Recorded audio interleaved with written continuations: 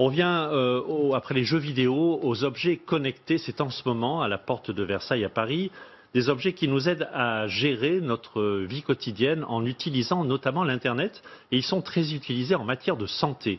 Fabrice Collaro et Sylvain Roland.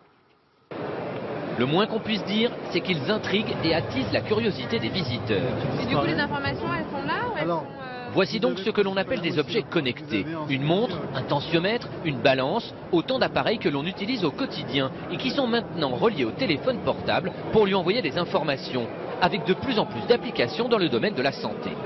Ça a une vraie utilité pour le grand public de prendre conscience que finalement des produits qui avant étaient inertes deviennent vivants et de pouvoir suivre son évolution et se mesurer. Voilà, ça c'est super, bravo. Et Continue voici donc ça. la brosse à dents de nouvelle Allez, génération pour apprendre aux enfants les bons gestes à effectuer ou encore un système pour simplifier la vie des personnes diabétiques car il enregistre automatiquement les doses d'insuline qu'elles doivent quotidiennement s'injecter. C'est une obligation, vous devez euh, tous les jours, lorsque vous faites des injections et lorsque vous mesurez vos glycémies, vous devez les renseigner dans ce qu'on appelle un carnet d'autosurveillance glycémique qui vous permettra tous les deux mois de- d'échanger avec votre médecin. Et les objets connectés arrivent aussi dans la chambre à coucher avec un système qui mesure la qualité du sommeil et vous réveille au moment le plus approprié. Il est composé de deux parties. Un capteur que je vais venir glisser sous le matelas et qui va capturer mon rythme cardiaque, mon rythme de respiration et mes mouvements. Et ainsi, je vais pouvoir avoir une cartographie de mon sommeil et d'une lampe de chevet qui va me fournir des, programmes de son et lumière pour m'aider à m'endormir et à me réveiller.